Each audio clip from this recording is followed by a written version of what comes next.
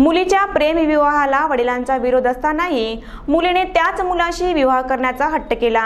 तेव्हा वडिलांनी आपल्याच अल्पवयीन मुलीची कोयत्याने डोक्यावर वार करून हत्या केली. जिल्ह्यातील मुखेड तालुक्यातील मुक्रमाबाद पोलीस ठाण्याच्या हद्दीतील मनुतांडा येथे आठ दिवसापूर्वी ही घटना घडली.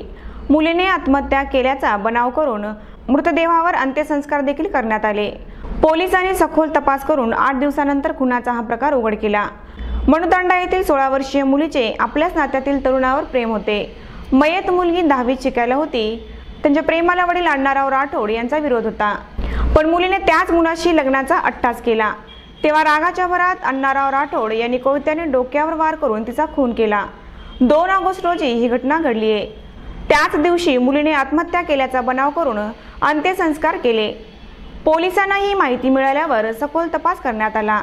आठ दिवसाच्या तपासानंतर खुनाचा हा प्रकार मुक्रमाबाद पोलिसांनी आरोपी अण्णाराव राठोड याला अटक केली. अशी माहिती पोलीस अधीक्षक श्रीकृष्ण कोकाटे यांनी दिली.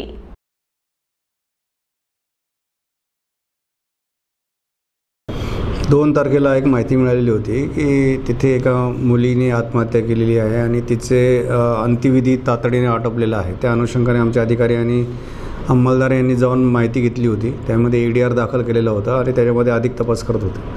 त्या अनुषंगाने असा संशय येत होता की व हा काही हत्येचा प्रकार आहे. त्यामध्ये अधिक तपास केल्यानंतर महिताच्या मैताच्या मुली आईने असं स्टेटमेंट दिलेलं आहे की ती एका मुलासोबत लग्न करू इच्छित होती. ते त्यांच्या नात्यातलाच त्यांच्या बहिणीचाच तो मुलगा होता. परंतु वडिलांना तिने शिकावं आणि पुढे जावं अशी इच्छा होती. आणि त्या रागाच्या भरात त्या त्यांनी तिला कोयत्याने वार केला. त्याच्यात ती मरण पावली. त्या मरण पावल्यामुळे त्यांनी तातडीने अंत्यविधी केला.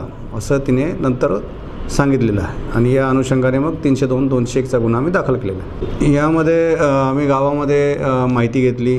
तिथे अंत्यविधी झाली. त्या व्यक्तींकडे तपास केला. त्यामध्ये त्यांचं डी एन ए मिळवण्यासाठी तिचे हडकं आणि ते जे काही राख वगैरे उरली होती त्याचा तपास केला. आणि सूक्ष्म पद्धतीने आतमध्ये तपास केला असता रक्ताचे डाग वगैरे मिळून आले. त्या रक्ताचे डाग हे मानवी असल्याचं सिद्ध झाल्यानंतर आणि त्यामध्ये अधिक सखोल तपास केल्यानंतर ही गावात समोर आली.